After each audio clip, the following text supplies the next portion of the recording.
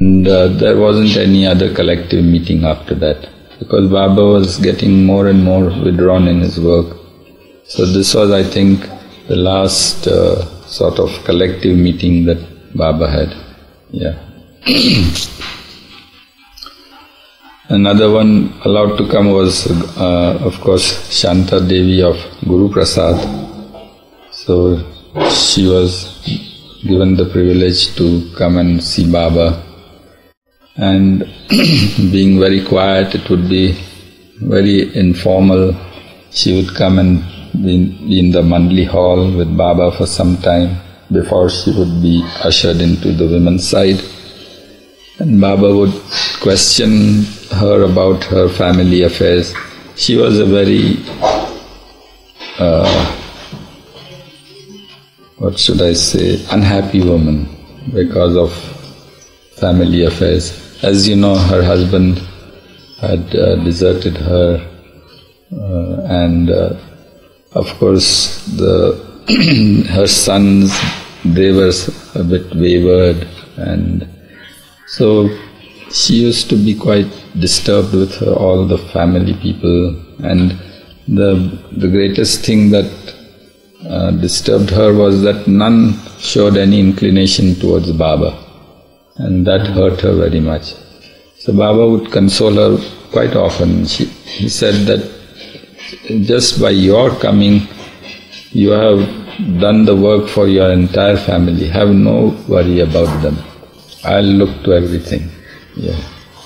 So that is the, the tremendous uh, advantage that one gets to come into the orbit of a perfect master or the avatar, of course that once you come, not only you have the benefit of his association, but he sees to your to many generations all around you.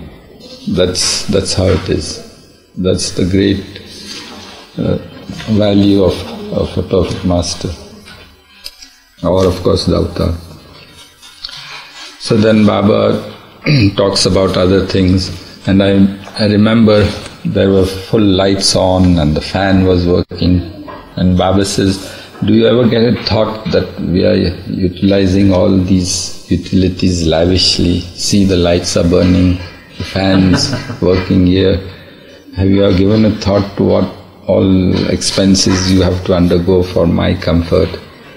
So Shanta Ben just laughs and says, Baba, it's a great pleasure and delight for me that you are making full use of all these uh, things that I, I could offer for you.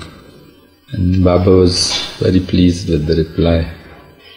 And uh, she said that you are really blessed that you have all the wealth in the world as, as well as you have me, who, who is of course the the biggest jewel in her crown, as it were. So you have best of both the worlds, something like that. In our language, the, it said uh, Sonama Sugan means Sona means gold and Sugan means fragrance. So in gold there is fragrance. Have you ever heard of any such? No. But sub, sub, if some such thing happens, what a rare combination it could be. that the, the, beauty of gold and the fragrance uh, of the rose, something like that. So that's something like that Baba mentioned for her, and she was very happy. And it was a nice meeting. And then, of course, Baba would send her inside to Mehera. There she would be with the women for some time. And then, so apart from that, um, not many outside, outsiders would be there. One of the people who would be with Baba was a man called Zal Aidun. He was a very, uh, very funny type of person. He was a close friend of um, Baba's brother Jal. So somehow Jal would wangle him into Guru Prasad. and he, was a very shy and very quiet type of person and had a very uh, effeminate voice, you know. So, if anything, then he would just put down his head and reply if Baba asked him anything in a very squeaky voice, you know.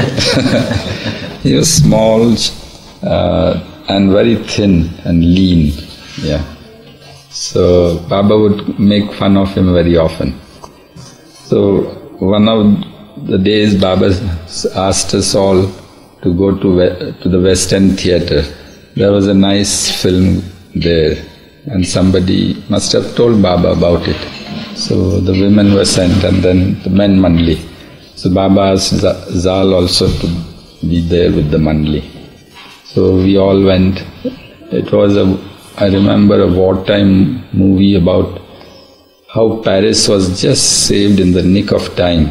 You know, Hitler had uh, given the uh, given instructions to his people to put uh, dynamite all around the city and all big installations and that when he gave the order the whole city had to be blown up or some such thing. That was the theme. I wonder if you remember the, such a picture I've heard how paris was saved or something. This is when hitler was going to be withdrawing from paris. That's right. yeah yeah. before he went. Yeah you, it's a historical fact. Yeah.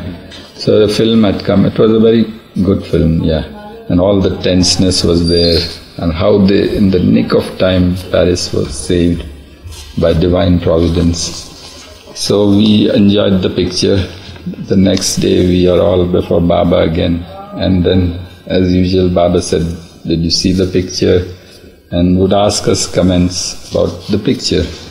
So each one would say, "Yes, Baba, it was excellent, quite thrilling, and there was so much suspense." Then it was the turn of Zal. So Baba says, stand up.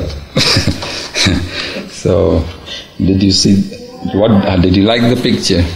So he says, no, Baba, in that very squeaky voice. You know. He says, what? Baba looks up uh, in a great surprise. What do you mean? Didn't you accompany the mandli to the, to the theatre? No, I did, but I didn't see the picture. So he says, what do you mean by oh, you didn't see the picture? So he says, no, I just kept looking down. Baba said, didn't I order you to see the picture? How dare you did that? No, Baba, I never see any picture in my life.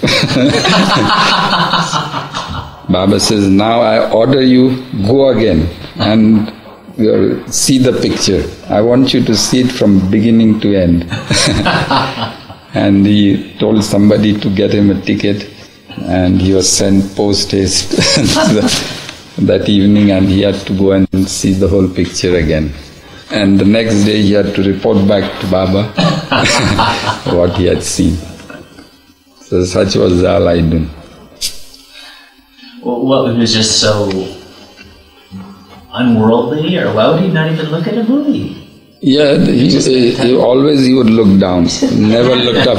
Yeah, very funny type of character and uh, very straightforward, never would talk with anybody. Only if somebody spoke to him, then he would reply.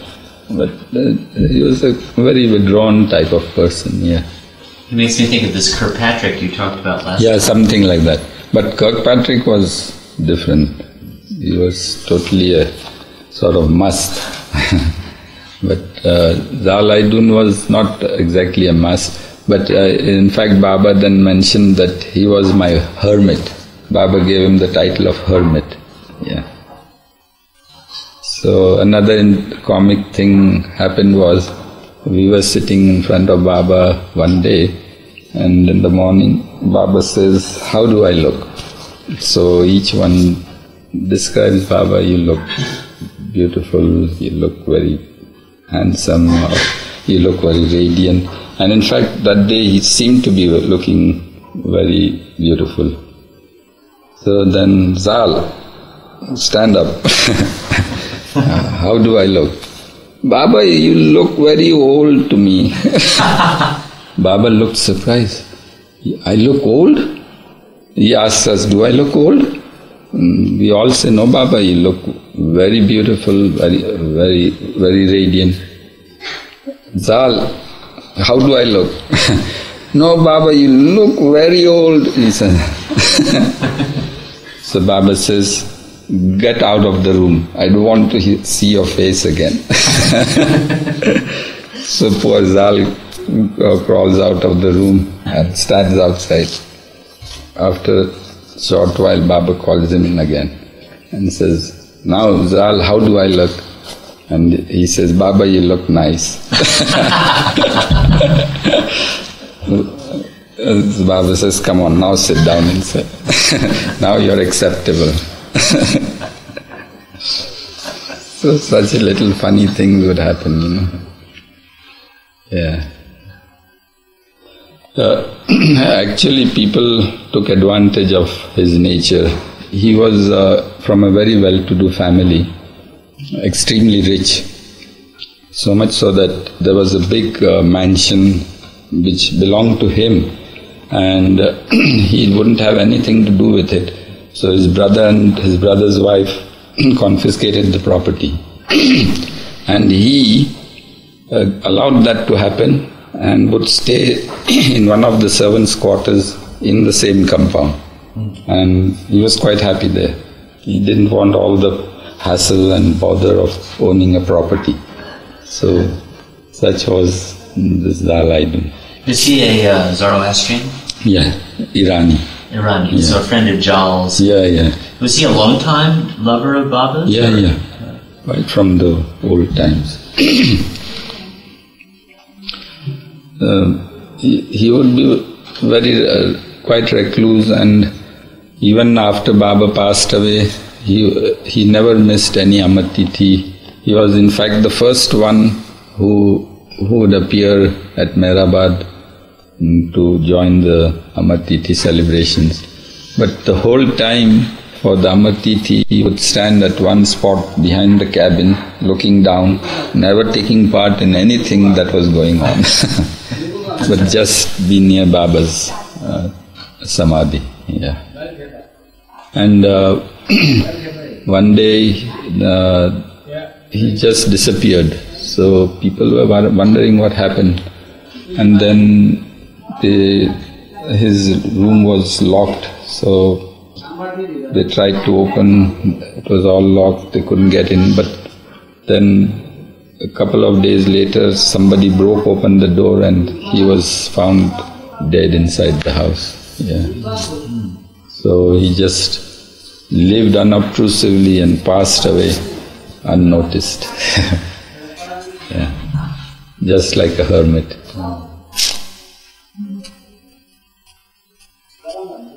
Yeah. Let's see. That a way reminds me, you had said you stopped working at factory. Yeah. You just stopped trying. yeah. well, I, I didn't just disappear, but I, I did fade away. And, uh, but before I did that, I saw to it that nobody was left in the lurch, huh? I wasn't found dead in.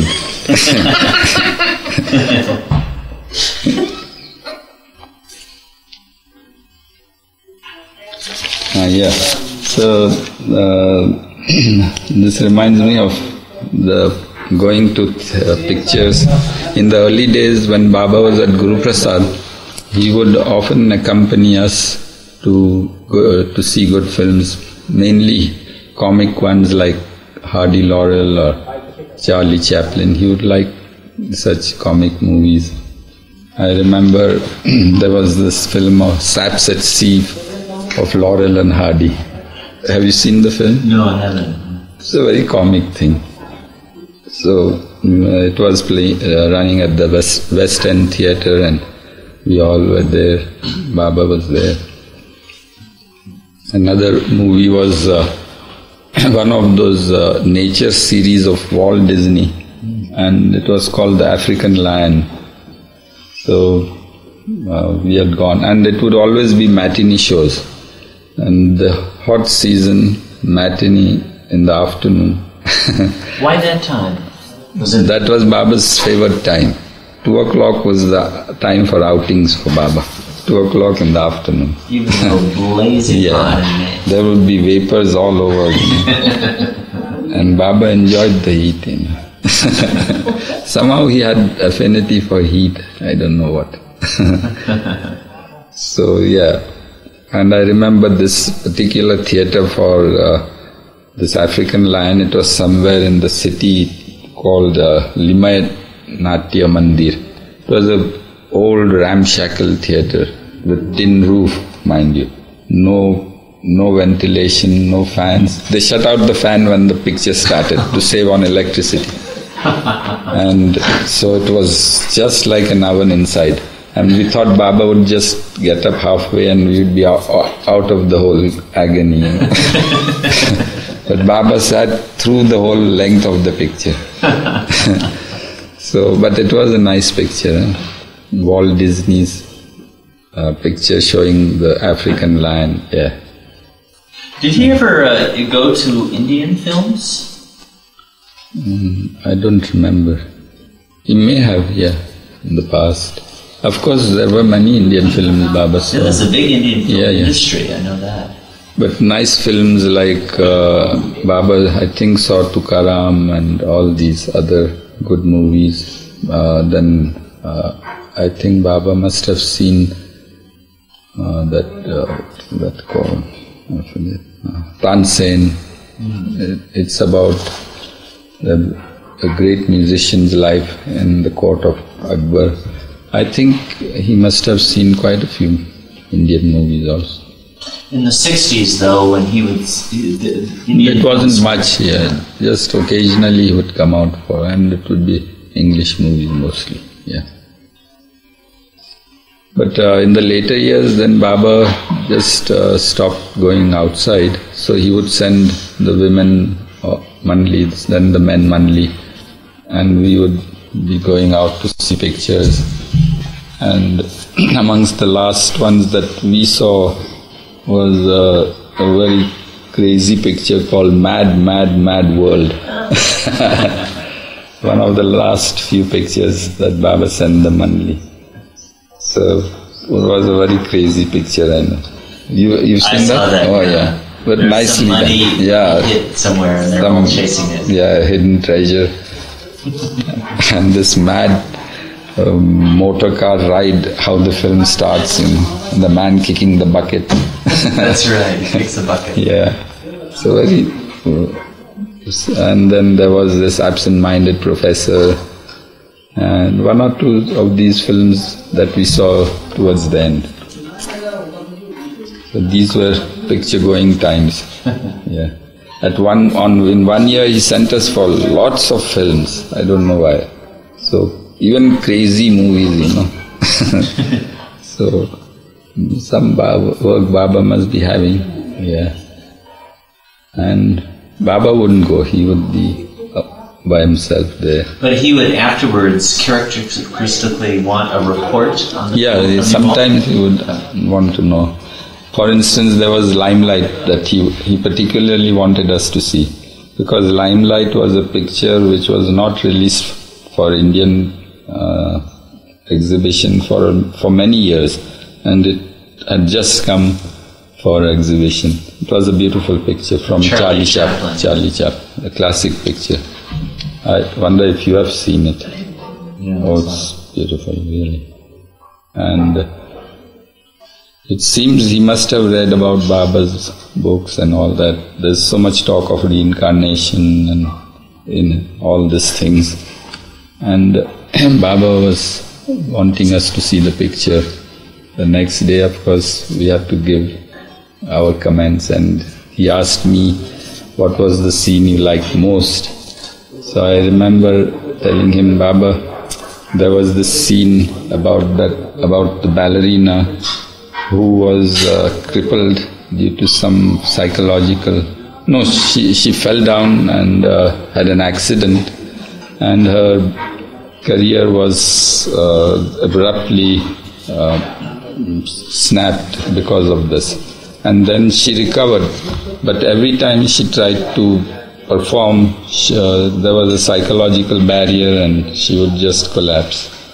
and she was in dire straits, hungry on the streets, and as, as usual, Charlie would, was the one who always was uh, having sympathy for the, these downtrodden people, and he brought her in and looked after her and mm, mm, made her wholesome again, and then she was back on her feet, and then there was this big performance that was to come up, and she was all prepared for it. And then, as as she's about to go on the stage, she, she suddenly has this psychological breakdown and collapses there. And we see Charlie strutting up to her and giving her a tight slap across the face.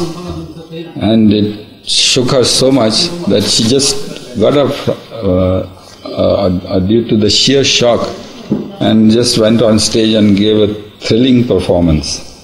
And uh, while she's performing, and uh, Charlie is satisfied to see her dance beautifully, and he just uh, kneels down on the backstage and does a little uh, cr- uh, crossing. What do you call that?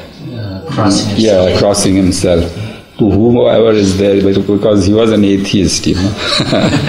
so, and so I said, Baba, this scene was beautiful. Baba said, yes. He liked the scene being described to him. Well, it seems that Chaplin, from early until late, was one of the entertainers Baba had enjoyed. Oh yeah, he was he was a perfectionist, so he had to take so many retakes of films until he was personally satisfied that each each frame was according to what he wanted. And most of his movies, he was the producer, the director, the actor, the script writer, the the musician, everything. I don't know how he did it. So really, he was a genius and, and very comic, no question about it. Yeah, then another incident at that time that I remember was, are we at the end or what? No. Uh, uh, one day, see, Baba would uh, afternoon also. That would be the end of the day for him. And then we would just be sitting or loitering about. And sometimes Baba would call us to the bedroom and have to say something back. So one day, one time he, he was holding a soda water bottle in his hand and asking each of us to approach. And then himself mm, uh, made us drink from the bottle of his hand, you know. Each one to come and he did, did that to all of us over there. And then he says, do you, do you realize the significance of what I'm doing now? So he asks each one, you know. So I, I recollect one of them was Vishnu Master at the time. So he says, Baba, I think by doing this you must be uh, quenching the thirst of somebody who's lying in the desert, thirsty or something. So Baba says, very petty. And it belittles my status for you to think such a small thing for me somebody else and so on. then he asks Eruch. So Eruch th- says, Baba, I think you're by this uh, bringing us close to you or something like that. I don't remember exactly what, that's very hot. and then recollect much. But he said something to the effect that bringing you each so close, holding you in my hands and making you drink signifies that I am working for my lovers and bringing them close to me. It was a very profound little thing that he said, yeah. Like the words. And it's not recorded anywhere. It just came to me one of these days. It sounds like a very sweet moment Yeah. Baba, actually. You know, it's funny, when different people talk about Baba, sometimes you'll have a sense of a very angry, fiery Baba who's berating all the times. But to tell the truth, Meherwan, over these hours with you, it's, it's that side of Baba has not been much, so, but more of a, I don't know. Yeah, not much was there. There used to be. Yeah. There used to be, yeah. As I said about Padri, you know. Right. At that time, Baba was all fury, you know. It doesn't sound that Baba would get ferociously angry at you very much. That didn't happen very No, much. not much. Maybe it didn't much. I was the timid kind, you know. so I was very afraid of causing any displeasure to him. So kept at a safe distance. yeah.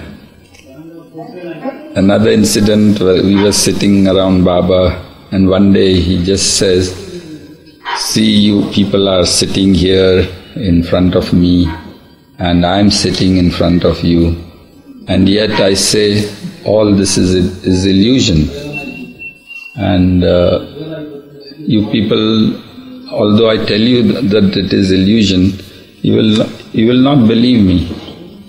But I say that this is illusion. So, uh, can you, uh, can anybody tell me how you could uh, reconcile this situation?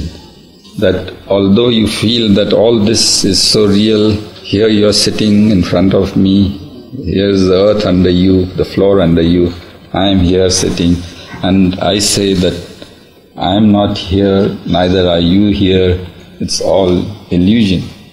So he starts asking people questions. And I suddenly had a bright idea, and without my turn, I speak out of turn. Baba, I think uh, the analogy of the dream that uh, we have a dream, and in the dream we feel how real everything is, and uh, we don't feel that it's uh, it's not true. When we wake up, there's nothing left there. So Baba says, you speaking out of turn? I didn't ask you. anyway, your reply is good. Some such thing was there. Yeah, so these were quiet moments with Baba. Or otherwise, there would be, of course, the usual card game with few of us around him. None of those old boisterous games when big crowds would be with Baba the hall would be filled. So unlike that, it would be on a much quieter scale. These uh, was cheating rampant in, in the old in those big games? weren't as Oh, much, yeah. but at these uh, late games where they are more Not much. rules? Yeah. Baba was not much in the mood. It was just a pastime, you know, that we played cards. And most of the time we could see that Baba was quite withdrawn and more and more mm, uh, very much uh, uh, what can I say mm, uh, as it were uh, all the while uh, employed I mean all the while um, doing his work and yet trying to be in, with us giving us company but we could see that that how he was gradually withdrawing from us yeah. So there would be a sense, even when he was with you on occasions like this, that he was really absorbed in something else. not exactly absorbed, but uh, that um, that liveliness was not there, yeah, of old. Although it would be there sometimes, but most of the time it was a, a quiet sort of atmosphere around, yeah. More and more absorbed in his work. Did you did you feel you know was there a certain sadness of those old things that were gone? No, what we felt was the the suffering that he was undergoing. Because he had this neck pain and this collar and the the hip joint pain was there and all these physical uh, disabilities and and all and and the the weak condition that he was in that used to make us feel quite sad you know, at heart. Of course, we hadn't to show it to him, but in the back of our minds, we, we would have this feeling, and it it got more and more as as the time approached. So practically, that was the end of Guru Prasad's stay, and uh, then Baba was to leave, and of course, uh, the usual farewell was not there, as of as was the case last year, and Baba just uh, went away and was due to leave.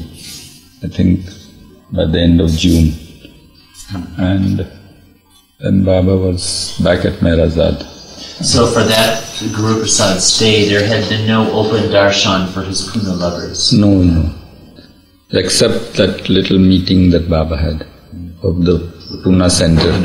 Not all the lovers, just the mainly Baba center workers, workers meeting. So basically that was the end of Guru Prasad's stay and then Baba went back to Meherazad and uh, as usual, in, uh, the following year, uh, in January, February, I was again here at Meherazad for his birthday occasion, and uh, the seclusion continued. I'll just have a look if I've left out any points.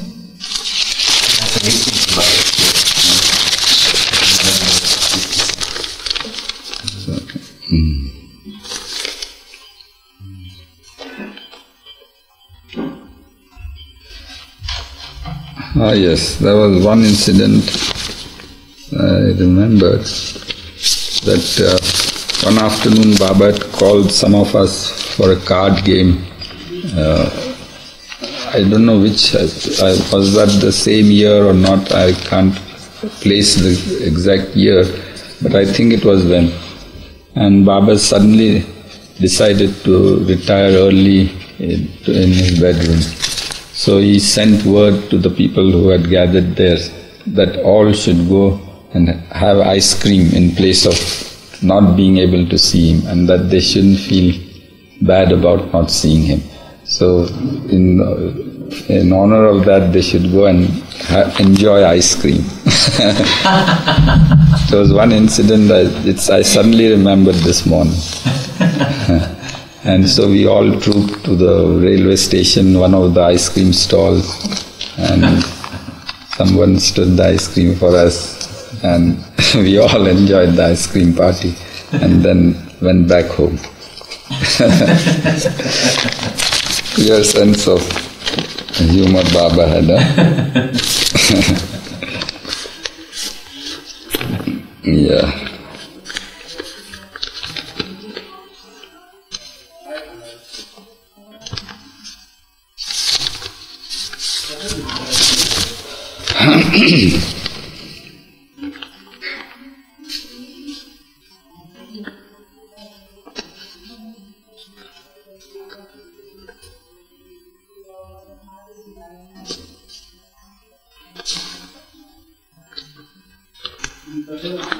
Yeah, so then we come back to Meherazad. In, this is now 1967, and uh, again Baba's seclusion continues, and uh, the seclusion is getting more and more strict. But uh, the only exception that was made was about Bill LePage. So Baba had promised him earlier that he would call him for some for few days to stay at Meherazad, and so Baba sent uh, the message that he should come uh, during the birthday time. So he was here. I remember when I was here also, and he came here about mid-February for a couple of weeks, and he was here and I think that was the only time he got to stay with Baba so close and for such a prolonged time.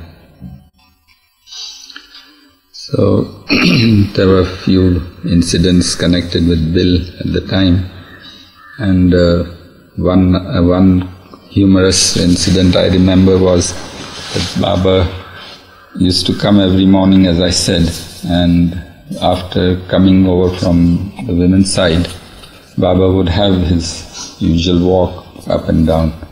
So he stands before Bill while he's walking and he looks at him and uh, in a very inquiring manner. And Bill wonders what what is Baba looking at him so seriously for? And he, and uh, then Baba says, What's all these hair sticking out on your cheekbones?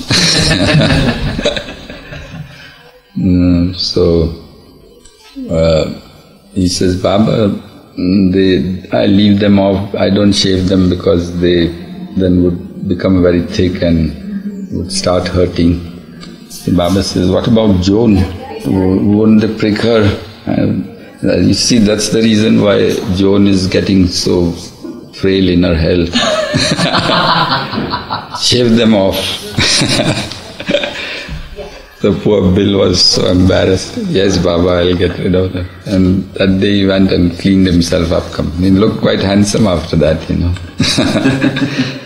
Otherwise, he had these long whiskers right down here. so little funny things Baba would do, even during these times of seclusion. Where did Bill stay? He stayed in room number seven. I see. And yeah. Francis's room was still Fra- right in. Francis was there, in room number eight. Oh, I thought yeah. that Francis was staying in Ludley Hall. No, that was in the initial stages. Then uh, that room was emptied, and Francis was given that room to work for. He was work, working on the poems and all that, so he would be quite busy. So on that room was Francis, and the other side was Baidul. The room number six, that small storeroom you see. So one day uh, Baba asked the Fra- uh, Bill, "Did you sleep well?" And uh, Bill says, "Yes, Baba, I did sleep somehow." So he says, "Ah, so what was it?" because Francis had a habit of uh, giving loud lectures while he was sleeping, you know. Yeah. So he would talk quite loudly, you know, and a big sermon would be uh, heard right outside the room. And as for Baidul, he was a, a notorious snorer. so ba- Baba says yes for Baidul on one side and with uh, Francis on the other side. I can well imagine how, how well you could sleep. Yeah. So, and of course, Bill was uh, very busy with Francis to form the charter for Avatar's abode because it hadn't been formulated. So Baba wanted, wanted them to work that out and uh, finalize everything so that uh, it could be read to him before Bill left. And since Francis was staying with Baba, so Baba wanted the entire property to be uh, in Bill's name, and then thereafter Bill would have to form a sort of trust and then uh, bequeath the whole property to the trust. So all the formalities were being written out. So Eruch was also asked to assist and they would sit late in the nights and uh, prepare this uh, charter for the Avatar's abode. And yeah, so then it was Baba's birthday time and uh, as usual, as I said, the, it was the staff who would do all the decorations. And they got another idea. That year, they decorated Baba's chair also, very gorgeously. And they built a big arch on top, and there was a big balloon hanging on the top. So when Baba came in, and uh, then we greeted him with, birthdays and all that, and then uh, uh, at the signal from Yusuf, um, a string was held by Bill. So he pulled it, and there was a knife there which cut the balloon. and there was a big shower of rose petals on Baba. some new thing he had done. He had worked all night to get that those petals into the into the balloon, you know. so So Baba enjoyed that. yeah, so that was the celebration that time for Baba, and Did you have much to do with Bill, uh, especially when during his stay, or no, we just used to talk with each other, go out for walks with Eruch, morning, evenings, nice walks. what would you do in the afternoons after Baba was gone? Would you have the freedom to go and take a walk? Yeah, Not only freedom, but Baba had asked us to go for walks. So at about this time, we would go out for walks, for long walks, because Eruch used to have quite long walks then. what, an hour, two hours? yeah, hour, hour and a half. Sometimes go up Seclusion Hill, or sometimes go to the lake, or beyond the lake. Yeah. So So usually after one or two o'clock, you wouldn't see Baba again that day, unless he. No, he would come back in the afternoon. Oh, yeah, still afternoon yeah. sessions. There would be afternoon sessions. Um, morning session, Baba would be up, up, say from eight to about twelve o'clock, and then afternoon from say about two two o'clock or so till about three thirty four, and then Baba would retire. Yeah. So that would be the usual pattern. Or when he didn't come in the afternoons, then Baba would call us to his room and we would be there. Eruch would read the paper in the afternoon to him there. Yeah. And in the evening, then Baba sent a bill for uh, the procession because it was the second year that the procession was being uh, carried out uh, by the Nagar Center and uh, Baba asked Bill to participate in the in the uh, procession. So he was sent there. He, I think Adi, Sarosh, they were all in in the procession.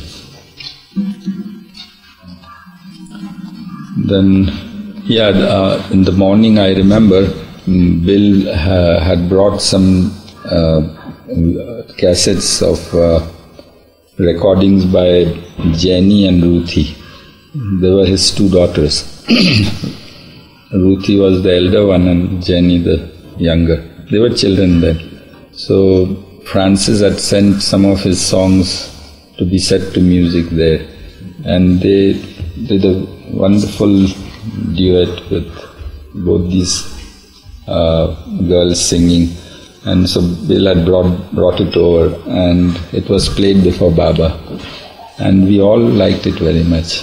So Baba said, It's beautiful and I would like them to continue to sing like this and spread my name by their singing. Yeah. Baba asked him to convey his love to them, to his wife Joan. Also, he remembered Michael on that day. Did Francis himself, uh, was he composing songs and presenting them to Baba at this time? Yeah, he was doing. Would he sing them to Baba? I remember once he did uh, bring this, uh, uh, bring it, bring a harmonium inside, and he told Baba that he wanted to. Uh, he's he's starting this new thing about Baba's name repetition. So Baba's dhun, as it were, and he was the first one who sang. He was would have the harmonium as an accompaniment and sing. So Baba liked that, yeah. Some melody he had. I I don't rec- recollect, but it, he sang. He didn't have a very mm, pleasing voice, something like mine, but nevertheless he he did sing. So, just Baba's name.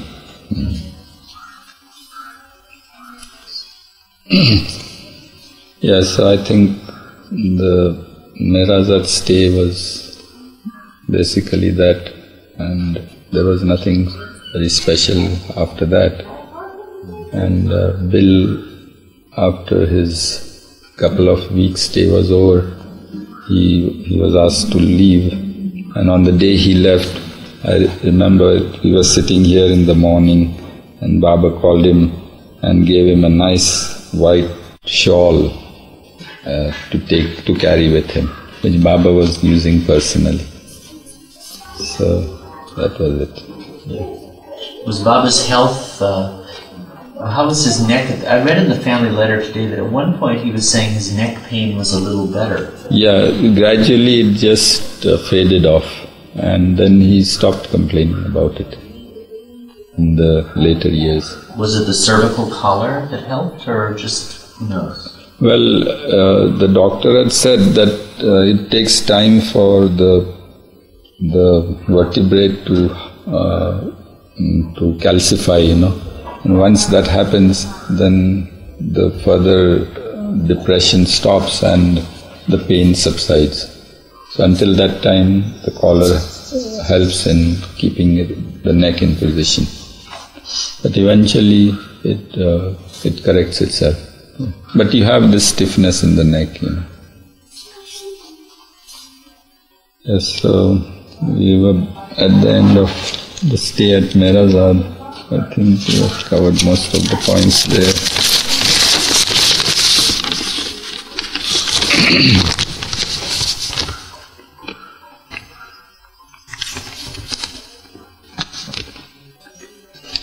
ah, oh yes, I must have forgotten this. So another thing was uh, Harry Harry Kenmore was given instructions by Baba to um, always uh, give a public uh, uh performance of Baba's on Baba's birthday. So he would uh, he would reserve this uh, room in the hotel Barbizon Plaza, and he have you, did you ever go to yes. those meetings? Yeah. Great. Uh, so Harry was always for grand and great things, you know. So it would be this big posh place, the Hotel Barbizon Plaza, and the big hall was booked and people would be invited there. But uh, that year, he somehow contrived to get the New York radio New York Radio Worldwide or something it was, and uh, to to uh, record the program live, and uh, then the next day to to be relayed to, the world. Being shortwave, it was all over the world, and he obtained he got the uh, the radio to obtain permission from the government to specially beam it to India. So that's how he said that uh, he sent a message that this is going to happen. So on this time, on this day, make it a point to listen to this program. so there was a nice big transistor somebody had sent, and Mani used to play to Baba on that, some some uh, radio program. So Baba asked me to locate the station that he had uh, sent. So three or four days ago, I could get the station he, he had marked, and uh, we could hear the thing quite clearly. Uh, the, uh, the the signal code and all that was there, and so I said, "Yes, Baba, I, have got the station properly marked." And then uh, the uh, uh, the day after Baba's birthday, the program was to be relayed, and I could we all gathered in the room there, uh, uh, the side of Mandali Hall, and uh, we tried to get the program on the radio, but unfortunately that night there was lots of disturbance. But uh, some snatches of uh, the program could be heard, and there was Harry singing the his favorite song Swanee, you know. so we could hear just a, few few sentences, and then happy Baba birthday and all that quite loud in his voice, but, but just snatches, yeah. So Baba then sent message to him that we did get uh, to hear some part of his program. and of course he must have been very happy about it. That was the end of that stay. You know, I did notice in my notes, hmm. if unless I took this wrongly, that Ramju did die in January of 67.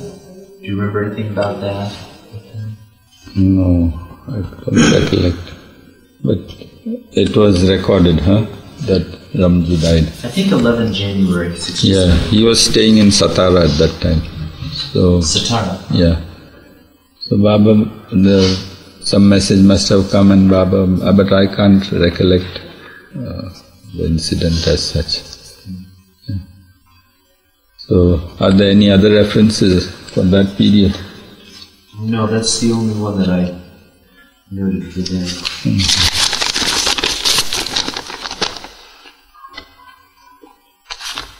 So,